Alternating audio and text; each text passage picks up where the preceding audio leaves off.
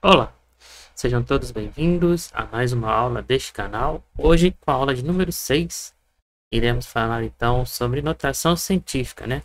Já que entramos na aula número 5, com o assunto da potenciação né? e radiciação, vou deixar o cardzinho aí em cima para vocês, da aula anterior. É nada mais justo então a gente comentar um pouquinho sobre a notação científica, né? Que também faz parte aí do conjunto da matemática básica, tá certo? Então, meu nome é William Pessoa. Se inscreva, curte, comente, compartilhe aí os nossos vídeos e vamos então para a nossa aula de hoje. Vamos lá. Então, notação científica é, é bastante usada aí nas áreas das ciências, né, como física, matemática, astronomia, geologia, química, né? E por aí vai, né? Ela é usada então para a gente poder expressar números, né? Que às vezes podem ser muito grandes, né? Ou números que são às vezes muito pequenos, tá? E aí a gente expressa utilizando então a notação científica que é dada então pela seguinte forma, né? A vezes 10 elevado a n, né? Onde então esse n é a ordem de grandeza ou expoente, né, que pode ser positivo ou negativo. Temos também o A, que representa então a parte do coeficiente, e o 10, é claro, a ordem de grandeza, né, a, a base, né, base 10 aí. Um exemplo clássico aqui que nós vamos dar, então, é a velocidade da luz no vácuo, né, que é aproximadamente então 300 mil quilômetros por segundo. Mas no sistema internacional, né, conhecido como SI, né, que é utilizado muito na parte então, da física, né, que é o sistema internacional de medidas, né, vamos utilizar então uh, aí 300, 300 milhões aí de, de metros por segundo, né? E para a gente expressar isso então, em notação científica, né, a gente vai ter que então deslocar a vírgula tá, para à esquerda, né? Então, deslocando a vírgula para a esquerda, né? O nosso expoente vai ficar então positivo, né? Como está aqui. E nós temos então número 3, né? Lembrando que esse 3 aqui significa coeficiente, né? Ou logarismo significativo, né? Significativo. Tá? Por que isso? Porque quando a gente vai fazer então essa mudança para notação científica, o número então vai ter que ser menor que 10 e é, maior que 1, tá? Não pode ser menor. Tá? Vamos lá aqui então, continuando então como fazer essa transformação, né? Então, para números grandes, como eu falei, né, devemos então deslocar a vírgula sempre para a esquerda, tá? Então aqui, ó, sempre para a esquerda. E o expoente, então, fica positivo, tá? Temos aqui, então, um exemplo. Número, então, 560 mil, né? 560 mil em notação científica, né? Então, a gente vai ter que deslocar a vírgula, tá aqui. Então, a gente vai ter que deslocar a vírgula para a esquerda. Então, vai ser uma, duas, 3, 4, 5. Então a vírgula fica aqui, ó. Então vai ser 5,6 vezes 10 elevada a quinta a quinta potência. Certo?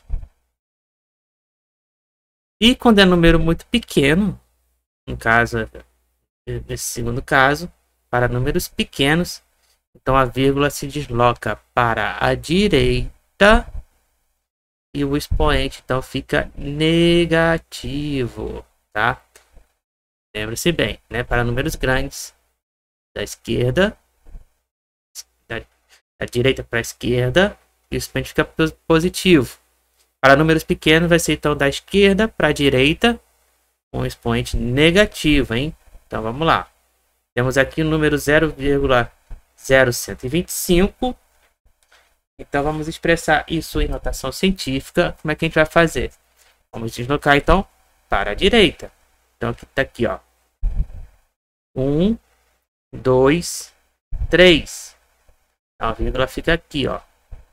Vai ficar 1,25 vezes 10 a menos 3, né? Porque a gente está deslocando, então, para a direita, tá certo?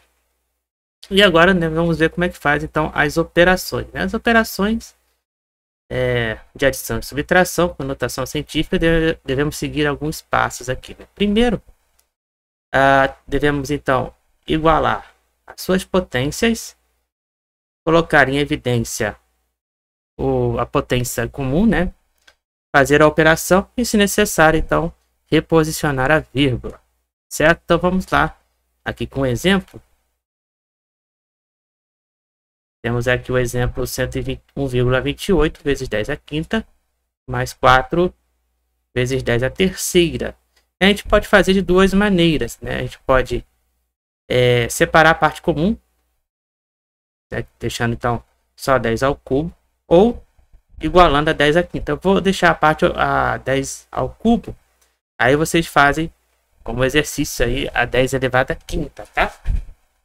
Então, igualando aqui, vamos lá. Vai ser então 1,28 vezes 10 cubo. No caso vai ficar ao quadrado, né? Porque eu já estou tirando então a parte comum. Então aqui vai ficar elevado ao 2, tá? Mais... Deixa eu botar outra cor aqui, tá? Mais 4 vezes... Vezes nada, né? Porque aqui já vai, vai retirar então a parte comum. Então vai ser vezes 10 cubo, certo? Então continuando aqui a conta. Vamos lá. 1,28 então vezes 10 ao quadrado, né? Que é a mesma coisa elevado a 100. Então vai ser 128 mais 4 vezes 10 ao cubo. Então 128 mais 4 vai dar então 132 vezes 10 ao cubo. Só que não está em notação científica, né? Por quê? Porque a vírgula está aqui. Então, o que a gente vai ter que fazer? Como é um número grande, então a gente vai ter que deslocar para a esquerda. Então, vai ser, ó, 1, 2, então vai ficar 1,32 vezes 10 a quinta. Tranquilo? Agora para a subtração, né? Temos aqui um exemplo, então, na subtração. Opa, aqui. Na subtração, né? É o mesmo princípio, né? Deixa eu botar de cor aqui. Então temos 2 vezes 10 a oitava, menos 3 vezes 10 a sétima. Então a parte comum é 10 a sétima, né? Então vai ficar 2 vezes 10 menos 3,7 vezes 10 a sétima, tá? Então vai ficar 2 vezes 10. Então aqui vai ser 20. 20 menos 3,7 vezes 10 a sétima. Certo? E aí, então, fazendo essa conta, vamos ver quanto é que dá. 20. Vou pegar a continha aqui rápido. Então vai ser 16,3 10 a sétima, mas não está em notação científica, né? Então aí a gente vai empurrar a vírgula para cá. Então vai ficar 1,63 vezes 10 a oitava. Tá bom? Tranquilo? Agora então vamos ver como é que funciona a parte da multiplicação, né? Para a gente multiplicar, então, a gente faz a multiplicação normal, né? Entre, as, entre os coeficientes. E depois aí a gente só soma os expoentes, né? Então vamos lá. No caso aqui, 2 vezes 4, né?